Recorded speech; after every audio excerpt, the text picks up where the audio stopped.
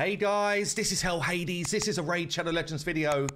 Apologies, I've got like the post Gamescom flu or cold or whatever thing going on, so my voice is croaky as hell. But uh, I just wanted to talk in this video about something which I think is a growing problem in Raid, and I just I just wanted to put it out there because it's really warping people's perception of different events and different stuff that's going on.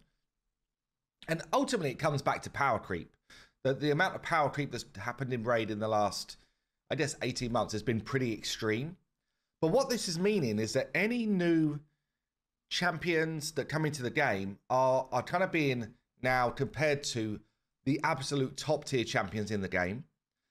Also, it means that any any kind of content or tips or stuff like that, which the creators do, they're basically having to try and water back, uh, water down their content to a level which I guess, um, tries to hit the majority of a player base, or they just go with full beings, this is my best team. But then you've got stuff like mythical champions, which are just irrelevant to most people. So there's this real kind of like challenge of power creep and I guess champion pool, which I think Raid are struggling to address. And one of the biggest reasons why I think this is a massive problem actually right now is one of the best ways that Raid have kept people engaged in their content over all of this time, over five and a bit years, is actually their fusion model. We love to hate the fusion model, but what it really does is anyone who's remotely active or got any sort of FOMO um, in this game, they pretty much work hard and try and collect fusion champions. Those legendaries once a month, every single month since I've been playing this game, we've had the opportunity to earn a legendary that's always been like the go-to for activity um, you know coming back to the game on a daily basis making sure you keep your resources high potentially spending for people that spend like all of those things. One of the kind of like real things that you wrap your head around is that they're focused around fusions okay? So uh, i just put out a video yesterday about thor coming into the game. Now i'm a massive marvel fan i'm also a massive mythology fan and you know, Thor is a great character, right? So when we see a fusion like Thor coming in, uh, is this the right? This is just his visual. We look at his kit and we want it to be something absolutely amazing. Okay, that's what we want because if we're going to do a fusion, if we're going to put the time in, then we need it to be a standout champion for us to put put against our efforts. And that that triggers two things. Firstly, if it's not up there with the big boys, then we're like, well, is it worth our time? But secondly, if it is up there with the big boys, then it creates the next level of power creep, right? So that it's this double-edged sword, which is really difficult to manage for raid. Now, if I think of some of the champions that have really come in, and I didn't get this one on my main, but completely changed the game in terms of power creep. And these were fusions, by the way. Armanz completely changed the game. You've got champions like Newt, basically made a lot of bosses, you know, trivial especially if someone gets two of this fella. And you know these these type of champions coming in. Well, this is now the new normal in terms of what we want for a fusion, right? So if they're not coming in with this level of power, then it's almost like, well, this is a skip fusion. And if someone is skipping multiple fusions in a row, chances are they will actually churn out of Raid Shadow Legends. They will stop playing the game. There's a good chance of that because they're not having that kind of reminder to come back and be active um, so, as I say, love it or hate it, the fusion model has been one of the ways that Raiders kept their players for so long. I mean, another thing in terms of just the health of the game and, and why this is a massive problem, like we've got this summoning event on right now. I do not own Armal, Armanz, as you just saw, and I do not own Nekmo Thaar, who's actually one of my most wanted non void, non mythical champions. But you notice I'm throwing words in there now Whereas it used to be, I'd just say this is one of my most wanted legendaries. Um, and it would be really good for one of my Hydra teams. But now I'm like, well, hold on. Is he that great compared to the other stuff that starts to come out? And actually, I, I still would like Nekmo, by the way. I think he would be great, especially because I've got Teox. And um, and I'm still considering whether I pull shards. But then I also know that Freya event is coming up, and I'm probably going to need shards for that. And there's this power creep in terms of champs nowadays that you're kind of thinking, well, how valuable is he? you know, compared to picking up the void legendaries that are coming through, compared to picking up the mythicals now that exist in the game. And this is kind of like the new normal. So I was thinking about it in my head. I was like, well, how do Raid get past this this potential risk to their game that fusions become a fairly obsolete thing unless they bring out absolutely like god tier fusions. Notice I've not picked up a few of the last fusions. I was just like, I don't know if I'd ever use this guy. Certainly in the current state of the game, he was not that relevant to me.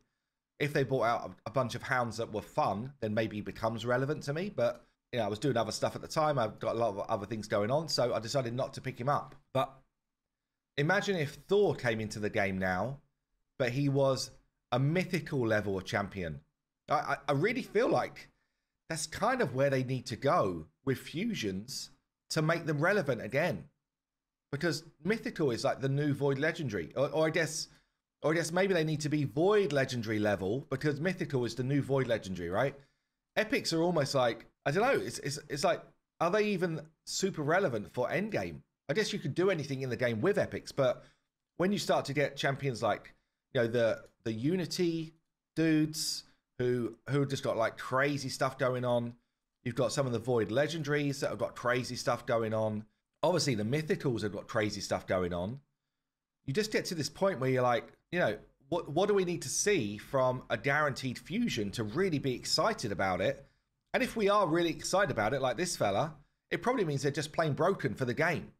You know, it probably just means they're plain broken. Like we're comparing Thor right now to champions that are in the game. So we're like, well, he's not as good as a Trunda for damage for Hydra. So probably, um, you know, I might not use him there. And he, he doesn't bring any enemy max HP. So, you know, if you look at almost every team for every boss, a lot of them are focused around enemy max HP. So that's a miss. So if we just want him to be a nuker, it's like, well, you know, what's that benchmark for nukers? Well, it's champions that ignore defense or ignore stone skin or, you know, all of these different metrics that we're looking at. And you can't bring every champion into the game with those type of skills. Know, we're at the point now we're like, what, 500, 6, 7, 8. I'd, I'd say we're about 900 champions in this game right now. 900. And to keep bringing out interesting ones, to keep bringing out ones that people will want to go and get, is a real challenge for Raid. It's a real challenge. And I do think the only way that they really get there now is if, you know, the new fusion model basically turns into mythicals. And then you've got the question of, well, if that was going to be the way, what, what do you need to fuse into mythicals? Is it legendaries? Because if it is, then hell, they're not going to give us a bunch of legendaries to fuse into a myth- mythical, which means that they probably just have to be, you know, like shard based fusions, which I guess is fine. But um, yeah, I'm just I'm just really not sure where they go next with this to keep that kind of like hype feeling of once a month there's something you can go out and get, providing you manage your resources well, and it's it's kind of like relevant in today's game there's a lot of players that are long-term players now. I did a poll uh, a couple of months ago, and in terms of my viewership, at least, you know, there's a good 50% that have played for more than a couple of years. So Raiders actually retain players pretty well. But I do think that if you lose the fusion model, which is a big part of their retention model, then you know potentially you struggle to retain those players. You know, we've had champions like Narcissus coming in as a guaranteed alongside a cool fusion. This type of thing is actually really good. But again, it's, it's only for people that can really knuckle down and save resources or spend, basically. And as I say, like anyone that comes in, we're basically comparing them to you know the likes of someone like a Georgid. Uh, okay, this is a nuker, well, I need it to do stuff like ignore stone skin, absolutely lay the, the chaos, have a chance to ignore defense.